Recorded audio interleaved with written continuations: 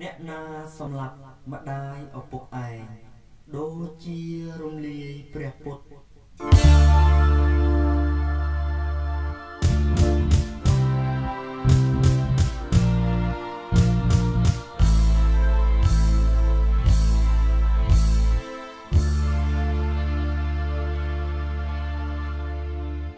ជនណា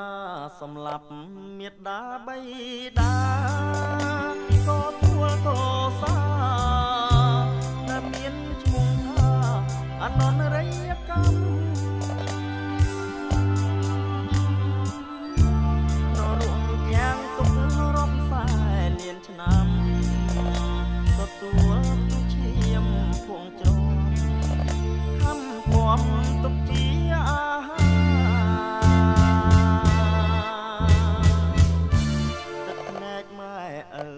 ជ្រោះជ្រៅលវឹងល្វើយហើយមិនរួចឡើយ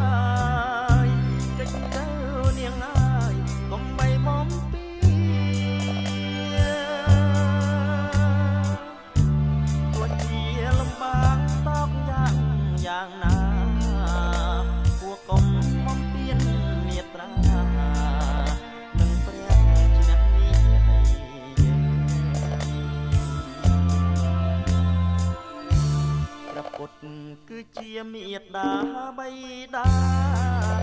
គួរតែគោរពមកជារក្សាឲ្យបានរុងរឿងជាត្រៃសារណាំងសម្រាប់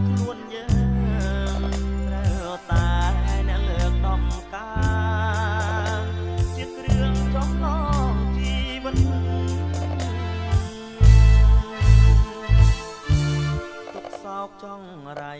គ្រប់ភ័យអសន្នមានតែព្រះគុណទុកជាទំនុននៃព្រះបពិត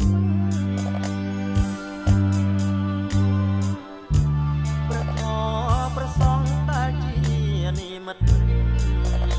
បង្ហាញផ្លូវត្រូវដល់ចិត្តឲ្យថិតក្នុងភព នេះពៀន